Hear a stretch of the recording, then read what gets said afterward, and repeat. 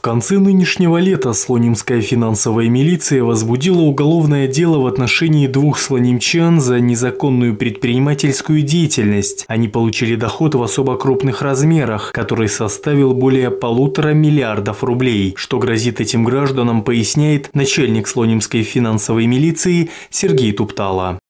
Засветились данные граждане тем, что на протяжении 2013, 2014, 2015 годов занимались незаконной предпринимательской деятельностью, связанной с куплей-продажей автомобилей. При этом следует отметить, что ни один из них в качестве индивидуальных предпринимателей зарегистрирован не был, когда осуществлял данную деятельность. А, однако о том, что следует быть зарегистрированы в качестве предпринимателей, оба данных гражданина знали. Один из них ранее уже попадал в поле зрения финансовой милиции за, по подозрению, скажем так, в осуществлении аналогичной деятельности. Но на тот момент времени э, совокупность тех сведений, которыми располагала финансовая милиция, милиция не позволила э, квалифицировать его действия как незаконная предпринимательская деятельность. Однако и после проверки финансовой милиции данный гражданин, к примеру, свою деятельность не прекратил, но и еще и скооперировался с э, товарищем, так сказать, э, который на протяжении 2013-2015 года реализовали более 10 автомобилей, заработали более одного, э, более полутора миллиардов неденоминированных рублей. Следует отметить, что в указанный период данные граждане даже кратковременно были зарегистрированы в качестве индивидуальных предпринимателей, но не с целью реального осуществления данной предпринимательской деятельности, а с целью получения виз на право выезда за пределы Республики Беларусь.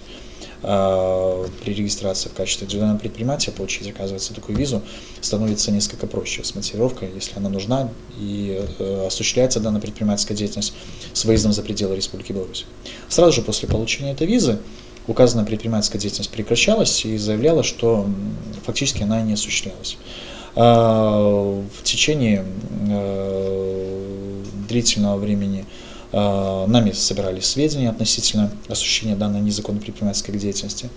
А, устанавливались автомобили, которые были введены указанными гражданами с целью реализации. Устанавливались граждане, которые, на которых данные автомобили с целью сокрытия деятельности формально были оформлены, то есть они не являлись а, владельцами данных автомобилей, а соглашались оказать такую услугу, иногда за материальное вознаграждение, иногда в силу знакомств – а, устанавливались граждане, которым данные автомобили были реализованы на территории Республики Беларусь, а это была и Брестская, и Могилевская, и Гомельская области, территория города Минской области. А, ну а совокупность собранных доказательств позволила квалифицировать действия данных граждан как осуществление незаконной предпринимательской деятельности именно обоими.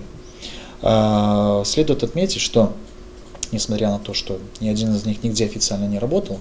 Один за короткий срок успел построить и заселиться в жилой дом, а у второго по месту жительства при обыске было обнаружено и изъято более 27 тысяч долларов США.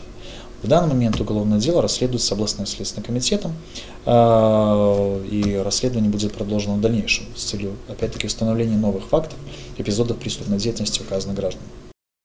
Десятки миллионов рублей предстоит вернуть в бюджет государству одному из бывших руководителей слонимского предприятия. Коррупционное преступление, выявленное финансовой милицией, квалифицируется как злоупотребление властью и служебными полномочиями. Одно из также, может быть, интересных уголовных дел, но из области коррупции, а, было выявлено финансовой милиции при э, совместной работе с коллегами из э, 9 управления по Гронинской области э, Комитета по оргпреступности, э, Управления по оргпреступности и коррупции в отношении одного из экс-руководителей коммунального предприятия города Сломина. Э, про этого экс-руководителя я также рассказывал уже в своих ранних репортажах, выступлениях.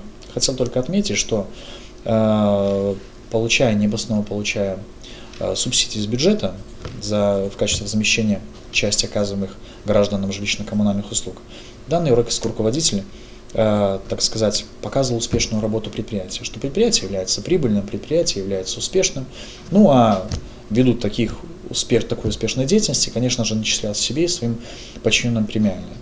Когда же проверкой финансовой милиции Комитета государственного контроля Гронинской области было установлено, что данные затраты из бюджета субсидируются необоснованно, оказалось, что в реальности предприятие все это время было убыточным. Ну а ввиду того, что оно было, конечно же, убыточное, о чем знал руководитель, то и получаемые суммы премиальных являлись незаконными. Но эти суммы были очень значительные, составляли десятки миллионов рублей, которые сейчас предстоит вернуть опять-таки, на расчетные счета предприятия. Но результатом нашей проверки явилось возбуждение уголовного дела по части 2 статьи 424 Уголовного кодекса Республики Беларусь, предусматривающей уголовную ответственность за злоупотребление властью сложенным полномочиями.